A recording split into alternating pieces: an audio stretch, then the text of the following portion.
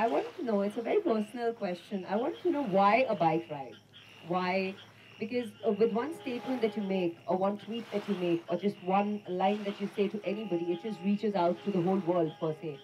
Why would you personally want to do a ride and go to these places personally in all the conditions that you've been in?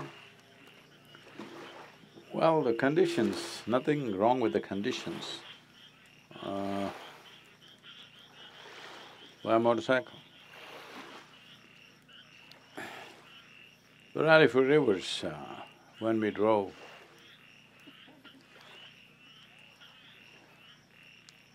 compared to this, uh, the distances that we were covering were very large. Uh, this is a much shorter ride, about thirty-five hundred kilometers probably we will be doing totally. And uh, about conditions, I don't see anything wrong with the conditions. I'm talking about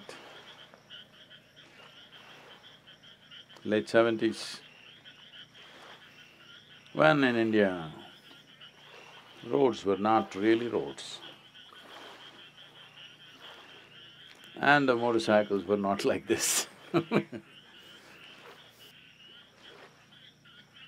The motorcycle I was riding at that time, which was a Czech model, Czech designed motorcycle but manufactured in Mysore. So, single cylinder, 250 cc, 27 bhp, and with lots of work on it, we made it like 34, 35 bhp. Modified. Modified. But uh, today we are riding 1230 cc, 172 bhp. So you think I'll complain about the rain? At that time, roads were bad. Those days, it was such that, uh, you know, lights were so dim on the vehicles. Nobody would dare to drive when the monsoon rains were pouring. Trucks, cars, buses, everything would stop. I would be one lone vehicle which would always be going through the monsoon because I wouldn't stop. I just loved to ride, you can barely see eight, ten feet ahead of you. But uh, so, I always rode in those conditions. So I don't find this any issue. But today the way the roads are and the motorcycle is, no complaint at all Now we were talking about monsoon, I just like the rain, I like sunshine. When it's very hot in summers, I went and sat on the terrace, third floor of my house, where there's no staircase for the last floor, so you have to climb up. Nobody else can come. So, I burned myself simply in the sun. All the time, my mother and my father is going to ruin himself. What's he doing, frying himself up in the sun? My mother is worried that my skin will burn. I burned it as much as I can, now it doesn't burn. And that's properly cooked So one day uh, in school, I'm in ninth standard. I got there one year earlier than I should have, so I'm thirteen years of age. So evening four thirty, school lets off. It's pouring heavy. So in the quadrangle, they're holding all the children, not letting us go. I want to get on my bicycle and go, but they're not letting us go. I like to ride in the rain.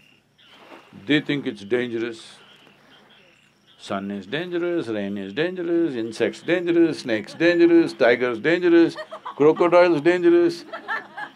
Where do you live then? so I'm just bored, they're not letting me go.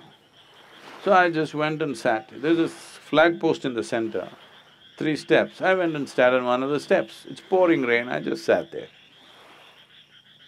Then all the teachers screaming and yelling, come, come. Then the headmaster comes out and screams and yells. I just ignored them and sat. The roar of the rain was drowning their voices, so I simply sat in the rain, soaked. Then they sent two peons to catch me. I went up the flag, flag post and sat there. They suspended me from school for seven days, which was a relief.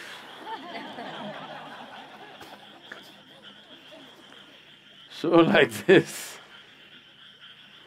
people want to grow up in an incubator all their life.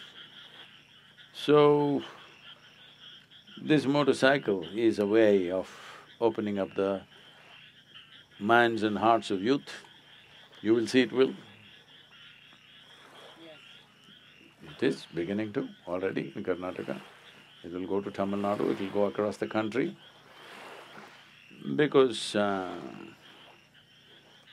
it's like this. A spiritual teacher means he must be incompetent to the core. Except dressing up in a fancy dress and sitting like this, he should not be able to do anything. So, just breaking that mold is very important. So another reason for the motorcycle is, uh, well, we want to inspire the youth of uh, Tamil Nadu and Karnataka. A motorcycle is far more exciting for the youth than driving a car. So, motorcycle. And also I thought, we're anyway doing some important work, why can't we have some fun? I think uh, with this kind of demonstration, what we're doing right now, it's not just about Kaveri. Spiritual process will go far, very far with the youth of this nation and everywhere not just Cauvery calling. So, I thought it's time to throttle up